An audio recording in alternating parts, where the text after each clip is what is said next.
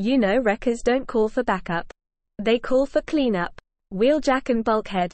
Loose cannons The Wreckers are an Autobot combat unit that operates outside the normal Autobot chain of command, or once did during the Great War.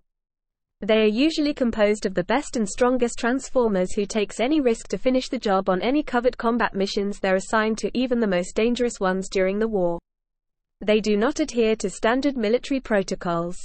Agent Fowler views them as Black Ops because of their known covert Autobot military operations during the war after Optimus told him about them and their exploits. Optimus said that they accepted missions that no one would take, and many of them did not return from such dangerous missions. The last known surviving wreckers are now integrated into Team Prime as a subgroup along with Stealth Team.